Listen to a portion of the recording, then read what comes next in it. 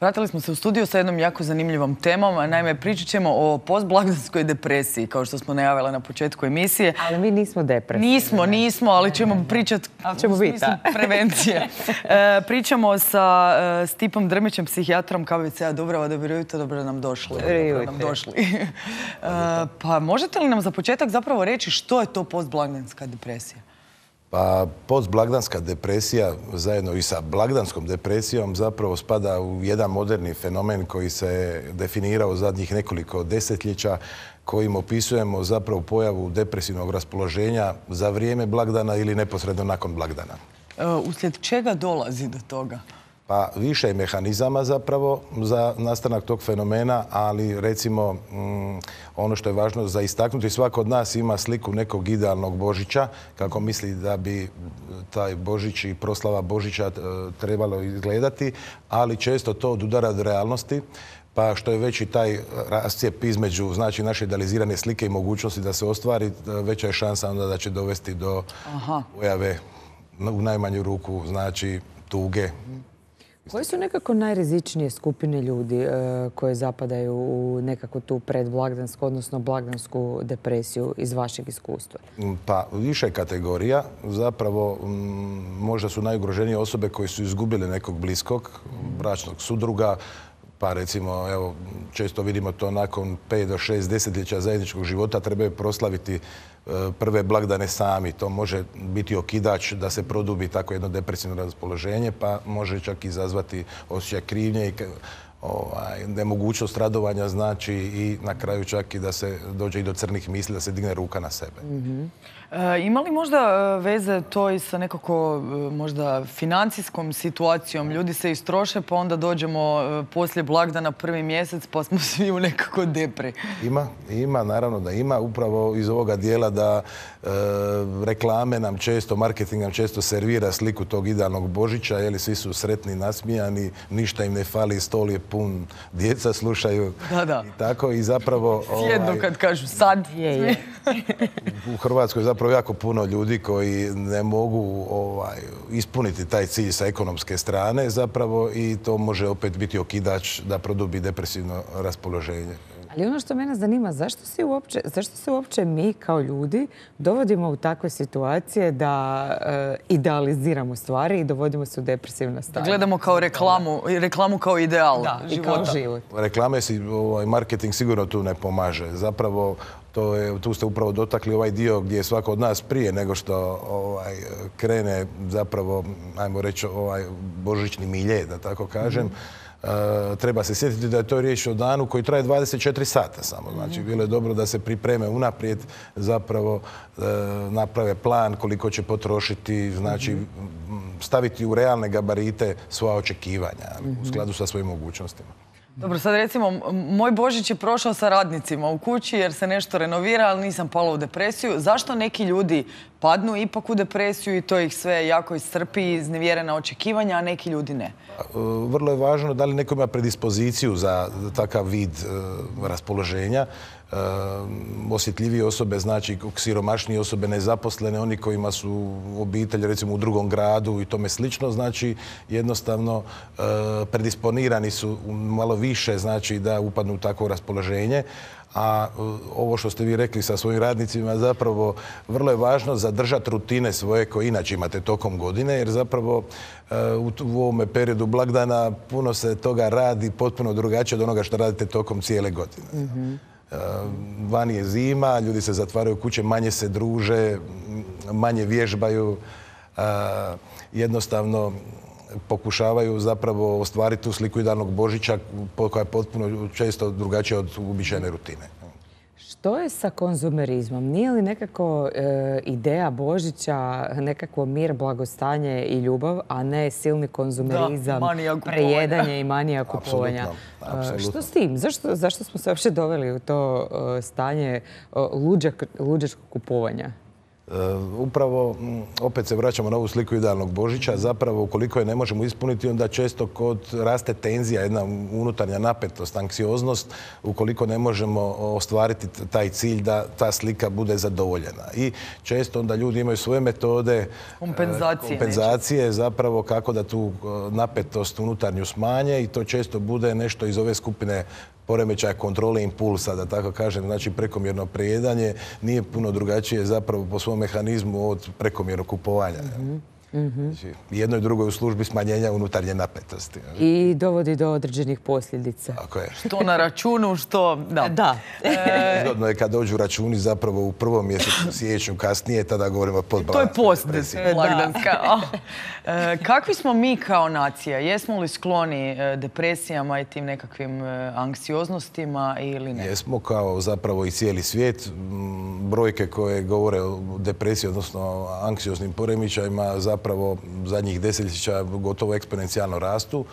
E, poznata je ona rečenica Svjetske zdravstvene organizacije da će depresija do 2020. biti drugi javno zdravstveni problem. Međutim, taj cilj je znači, već evo pa, sad prije dvije godine, 2017. već dostignuo. Znači depresija već od prije sad drugu godinu da je na drugom mjestu. Ja bi, samo bi e, kratko da se nadovežemo, rekli ste depresija i anksioznost. Možda da objasnimo, je li to isto ili što je zapravo depresija, a što anksioznost? Depresija, znači, evo to bi možda bilo dobro za naše gledatelje razjasniti. E, često ljudi kažu, joj, danas se osjećam depresivno. To zapravo nije depresija. Govorimo o znači o trenutnom raspoloženju, znači neko može biti tužan taj dan. Ali da bi se po kriteriji za depresiju i depresivnu epizodu bili postignuti, treba znači najmanje dva tjedna trajati e, takvo raspoloženje i imati intenzivne simptome koji su po kriterijima točno uključivo od sniženog raspoloženja, pada e, energije, da tako mhm. kažem, nemogućnosti postizanja zadovoljstva. To su možda za naše gledatelje najjednostavniji kriteriji koji sebe mogu postaviti. Je li oni tu ulaze? Anksioznost zapravo, anksioznost je normalna ljudska emocija, međutim ukoliko ta anksioznost bude tolika da je ne možemo kontrolirati, da ona kontrolira nas, onda govorimo o anksioznim poremećajima. Može biti uzrokovano znači nekim situacijama, na primjer, neko se boji visina, pa se javlja onda tako jedan fobični anksiozni poremećaj ili može, se imati zabrinutost za sve što je moguće, pa govorimo o takozvanom općom anksioznom poremećaju. A kako si uopće pomoći e, da se ne dovedemo u stanja depresije, anksioznosti i ne znam ovakvih blagdanskih umjesto da budemo veseli e, i raspoloženi, da se dovedemo u stanje tuge i pa dobro je zapravo, mm, znači vratiti se onim svojim rutinama, naravno ukoliko su one dobre, e, treba uvijek umjereno vježbati, znači izlaziti van, to je dosta važno, izlaziti na svjetlo, jer mm, neki autori smatraju da ova božićna depresija ima veze također s onom takozvanom sezonskom depresijom, kada ima manje svjetla jer se dani skraćuju, kao na primjer u Skandinaviji, koji imaju malo drugačije e, odnose dana i noći nego što je to evo kod nas e, u Hrvatskoj pa oni koriste recimo i fototerapiju e, kao mhm. oblik liječenja ove sezonske depresije. E, znači, vrlo je dobro izlaziti na svjetlo, šetati obavezno, jer sama depresija zapravo dovodi toga se ljudi često zatvaraju kuće. Treba raditi, znači, točno suprotno. Izaći među prijatelje, pokušati se družiti, vježbati, vratiti se rutinama, Naravno, ne, ne pretjerivati sa hranom i alkoholom i dovoljno se naspavati. Sve to, sve to pomaže. Što se događa e, zapravo, ono što me zanima je što se događa u, mozgu kada e, dobimo anksiozni e, napadaj ili, depresivni poremećaj? Je li to neko smanjeno lučenje hormona uslijed nečeg drugog ili što se točno dogodi? Dobro, mislim, mi imamo teoriju koja objašnjava zapravo da je riječ o manjku određenih neurotransmitora u mozgu, ali uvijek treba gledati osobu kao cijelinu to je samo jedna od ovih bioloških teorija nastanka depresije, pa e, često se zapravo, evo, možda da bi bilo lakše našim gledateljima, često se spominje taj serotonin kao manjak serotonina, on je dosta važan, ali bitni su i neki drugi neurotransmiteri, ali zapravo, evo, možda i malo čokolade može podignuti serotonin ovo Eto, to sam čekala da, cijelo vrijeme. kao nema ješ čokoladu. Jedi čokoladu. Sve je čokoladno i osjećaš se super. da, možda ne baš pretjerivati jer se onda opet ne osjećaš super. Meni je dobro. No dobro. koliko je, jeste li imali puno više intervencija sad za vrijeme ovih blagdana? Ja sam bio dežuran za Štefanje, ali ako da kolega prije koji mi je prenio dežurstvo je rekao da je imao neobičajno malo posla zapravo za taj dan. Znači, navikli smo da za blagdan imamo puno više intervencija. Ja sam bio sljedeći dan, nažalost bilo je dosta alkoholiziranih e, i bilo je nekoliko pokušaja suicida. Upravo je što možemo povezati sa ovom blagdanskom depresijom. Znači u to vrijeme zapravo ljudi su puno više skloni i suicidima. A to je pitanje u kojoj struka ozbiljno razmaša. U nekim državama je tako, u nekima nije. E, to zapravo je interesantno da e, u doba blagdana se često sretnu ovaj, za istim stolom, da tako kažu, članovi obitelji, ako imaju neke nerazjašnjene konflikte, često može doći... A onda krenu razjašnjavati. Po tom pitanju ovaj, do Tako je, pa da. Ako udara od idealne slike, je li može doći do... na reklamama ne rješavaju probleme. da, da. I reklama traje 30 sekundi, u 30 sekundi sve zgube, sve obave. sve su riješili. E, koji bi nekako e, vaš bio savjet kako po pitanju blagdanske i postblagdanske depresije, tako i po pitanju ostatka godine, kako nekako se nositi sam sa sobom, jer znamo da i ritam života nije baš e, jednostavan, E, imamo dosta toga e, na no i na pameti, pa kako se odhrvati tome sve?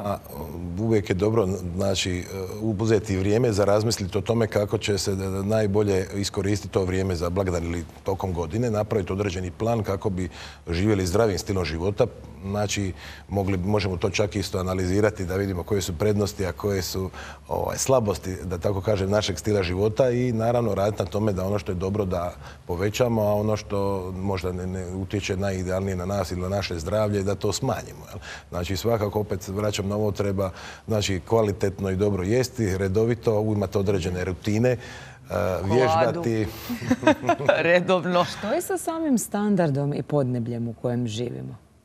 Kako to utječe na... Pa siromaštvo, odnosno standard, evo, ovaj, znači u Hrvatskoj, nažalost, su brojke takve da ima još uvijek dosta siromašnih. Naravno da da bi bilo dobro da evo, da svi skupa kao društvo idemo prema naprijed i po pitanju, po svim segmentima, ne samo u ekonomskom i zapravo to može biti protektivni faktor jednim dijelom. Ovaj, siromaštvo definitivno nosi rizike i za, i za druge stvari koje mogu biti okidač kao što su na primjer ovisnosti, mm slabija prehrana, ne možete kupiti nešto što treba i tako. Što se tiče podneblja, e, tipa mediteranske zemlje, kad uspoređujemo sa nekakvim skandinavskim zemljama gdje je puno više hladnoće, mraka i svega, ima li tu razlike među... Ima, ima. Zapravo mediteranska prehrana se zna, danas je i znanstveno dokazano da je definitivno najbolja na svijetu. E, naravno je tu važno koliko je sunčanih dana. Mhm. Općenito su, evo kao se može gledati možda kroz stope E, suicida, zapravo južne zemlje prolaze puno bolje zapravo po tom pitanju od sjevernih zemalja. Tumači se to jednim dijelom upravo zbog toga više svjetla, kvalitetnija prehrana i vjerojatno ovaj malo usporeni stil života koji inače ne. vruće, pa ne mogu brzo. Da, tako da svakako je da preporučuju taj vid prehrane više, više maslinova ulja. Znači sve je ipak povezano sa prehranom na kraju. Možda usporiti malo. Kakvi smo mi zapravo po pitanju e, psihijatara i psihologa? Je li to još uvijek kod nas nekako tabu tema i ne bi li to trebalo biti zapravo nekakav vid mentalne higijene? E, kako mi gledamo na to? Tako je. Pa evo ja često ovaj, uspoređujem možda taj dio, ne znam je li dobar primjer, ali uspoređujem često kako to naši ljudi recimo rade kad je u pitanju njihovo auto. Ali kad čuju da nešto ovaj, neki čudan zvuk na auto, odmah trče majstoru što moguće prije. Ovaj, kako ne bi naravno na kraju trošak bio puno veći. Mm. A kad je zdravlje u pitanju, obično onda čekaju zadnji trenutak ako uopće dođu. Mm. Znači, postoji jaka stigma našeg društva prema ovaj, osobama sa mentalnim poteškoćama na kojim trebamo dosta raditi zapravo da bi se to smanjilo. Mhm. Ali mi još uvijek nemamo taj običaj nekako vani. Recimo, Amerika normalno imati svog psihologa. Je. E, razgovarati na dnevnoj bazi, rješavati se nekakvih stresova, anksioznosti i slično. Kod nas je to jako zapravo nemoj ići tamo. Ne, nego ako ideš psihijatru ili psihologu kao odmah Nekaj ne štima s tobom. Da, da, kao nisi. Da, upravo tako. Naši ljudi često misle, kaže, neću ja kod psihijatra, ću ja kod psihologa. To im zvuči nekako, da tako kažem, kao da imaju manje probleme, ali ako ne idu u psihijatru, ali zapravo Amerikanci su zapravo dosta planirali unaprijed i oni pokušavaju prevenirati, imaju znači... Oni znaju da će imati problema. Tako je, tako je. Zapravo na vrijeme idu spriječiti, znači imaju određeni ventil, da tako kažem, kada prorađuju stvari koje ih muče, tako da ne ostavljaju ih neriješenima. To je dosta dobro. Da, to bi trebalo biti kao, ne znam, odlazak zubaru ili bilo kojem drugom liječniku. Dobro, ali mislim da e, možda ne bi trebalo ni pretjerivati s tim, jer čini mi se da nekako, možda mi smo negdje u jednoj krajnosti, Amerika je na drugom tako, treba kraju. sredinu. Trebalo bi malo to. Ti ja to fino ovako, pa sad kad svi ljudi krenu. da, da, da, nemojte pretjerivati sa ničim.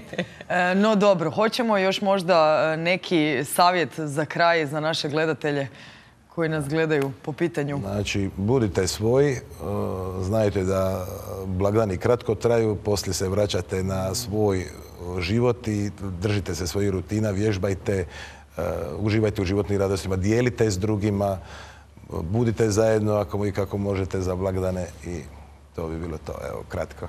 I nemojte rješavati porodične probleme za blagdanskim Za božićnim stolom. Hvala vam puno što ste nam došli. Želimo vam malo intervencija. Hvala lijepa.